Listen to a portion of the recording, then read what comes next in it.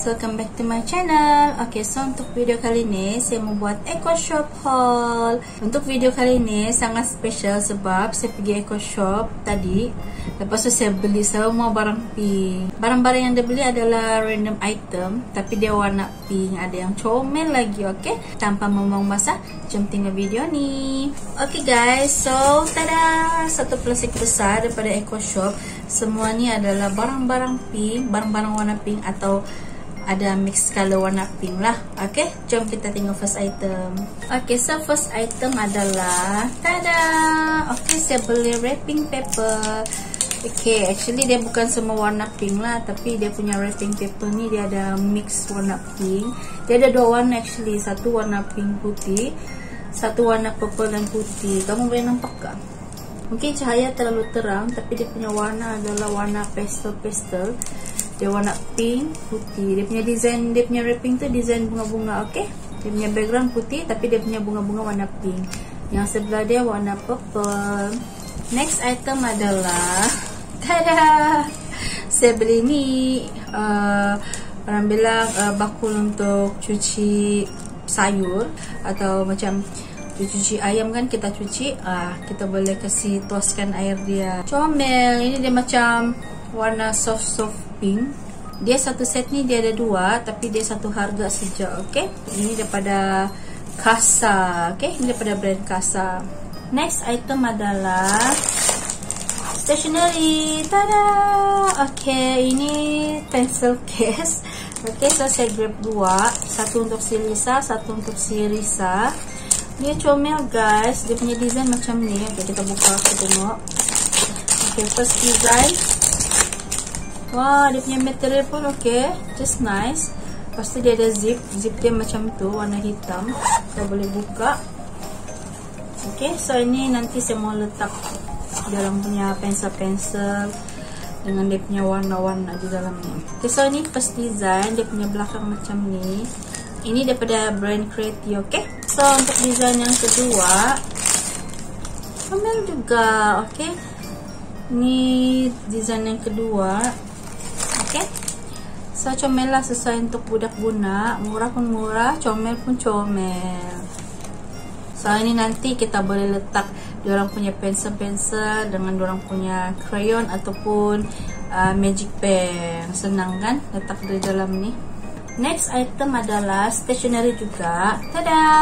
Ok grab mechanical pencil ini 0.5mm dia ada sertakan sekali dengan pemadam dengan uh, apa tu dia punya lid. Dia 2B dia punya sharp lid ni dia 2B belakang dia macam ni. Macam comel. Mechanical pencil dia ada dua. So ngam lah. Satu untuk series satu untuk series uh, warna pink. Comel kan? Next item adalah tada! Stationery juga. Ok ini uh, pencil punya sharpener. Ok dia punya design macam ni. Apa yang comel pasal sharpener ni? Dia boleh kasih pusing-pusing guys. Ok wah dia ada anu lagi. Dia ada gam macam tu kan gam. Dia macam ada macam untuk kasih melekat dekat meja. Jadi bila kita uh, kita asap pensel tu kan dia tidak bergerak-gerak. Comel design dia macam tu. Nah comel kan lepas tu dia punya handle warna hitam lepas tu bila pensel kita kasih masuk di sini lepas tu kita kita mau buang kita boleh buang comel kan dia ada warna pink sejak hari tu so grab lah item warna pink ni comel Next item adalah stationery juga. Tada! Saya grab stiker. Okay. Ini stiker Love Love. Dia ada empat keping di dalam. Saya rasa dia punya design stiker sama juga untuk semua. Okay, jom kita buka kita tengok. Okay, so dia ada empat pieces. Saya rasa sama juga. Ah, semua sama, okay? Dia punya design. Comel. Dia punya stiker ni, dia kebanyakannya warna pink lah. Tapi dia ada juga warna lain. Macam hijau. Uh, apa tu? Peach kah? Peach, kuning. Dia ada pelbagai size love. Lepas tu dia warna-warni. Comel kan? Tapi mostly stiker dia ni warna pink lah. Okay. Ini sesuai lah untuk kita buat decoration. Dekat di journal kah, di buku. Okay. Si Lisa pun suka main stiker. Jadi, ini memang dibelilah untuk dia. Next item adalah tada. Okay, saya sempat grab ini uh, fragrance punya diffuser. Okay, ini ini pewangi diffuser. Dia ada bagi kayu macam tu. Lepas tu kita boleh buka penutup dia, kita boleh letak kayu tu di dalam. Nanti kayu tu akan meresap diffuser tu. Lepas tu wangilah bilik. okay, uh, ini pun item warna pink yang comel dan berbaloi. Ini dia punya bau rose, okay? Kalau warna pink biasalah rose kan dia punya fragrance. Okay, next item adalah tada! Saya beli tisu basah. Okay, saya beli dua tisu basah. Dua-dua warna pink, satu dark pink, satu soft pink. Okay, dua-dua tisu basah ni saya pernah beli sebelum ni. Okay, yang ini ada 80 pieces, yang ini ada 50 pieces. Tapi apa yang beza dia? Yang ini wangi, tapi dia dia tidak penutup yang keras tu. Ha, yang ini pula uh, dia tidak dia tidak bau tapi dia boleh dia ada penutup keras tu untuk buka tutup senang menggunakan. Okey, ini sesuai untuk bawa pergi jalan-jalan, letak dalam beg sebab dia tidak terlalu tebal dan berat.